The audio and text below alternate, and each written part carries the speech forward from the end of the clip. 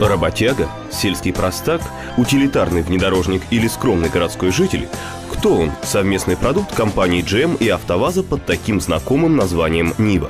Сменив простой, как три копейки кузов, перешитый итальянскими мастерами из бертона на современный костюм, Нива радикально изменила образ, но главное, не изменила своей сути.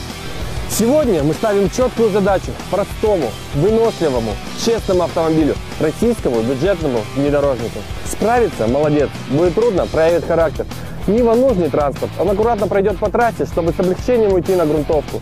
Ну, допустим, чтобы с грузом добраться до сада.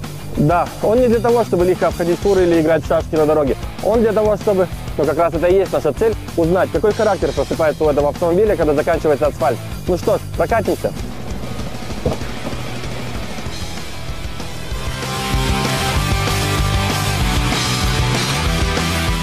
Технической точки зрения, Нива осталась настоящим бескомпромиссным внедорожником с постоянным полным приводом, раздаточной коробкой с понижающей передачей и блокировкой межосевого дифференциала. На грунтовке специального трека она демонстрирует строгость управления, но проявляет излишнюю склонность к кренам.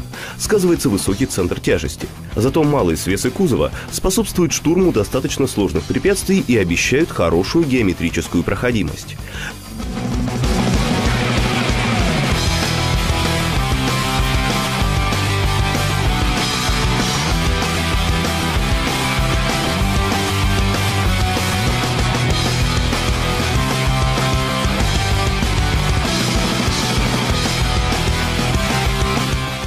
Ну что ж, скоростную трассу Нива Chevrolet держит вполне достойно, хотя автомобиль немного валки. Ну а теперь помесим грязь.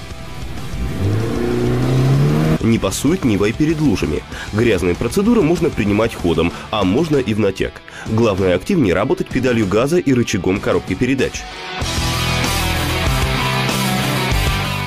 Все лучшие качества Нива демонстрирует именно на сложных покрытиях. Городская толчья не ее стихия, но она дает возможность покинуть асфальтированные улицы без ущерба. Мотор отвечает экологическому стандарту Евро-4. Это реверанс в сторону современной экологической лояльности. Жаль, что лояльность играет роль злого гения. Четырехцилиндровый 1,7-литровый бензиновый мотор не радует мощностью, всего 80 лошадиных сил. Скромным будет и крутящий момент – лишь 127 ньютонометров. Зато вы сэкономите на транспортном налоге.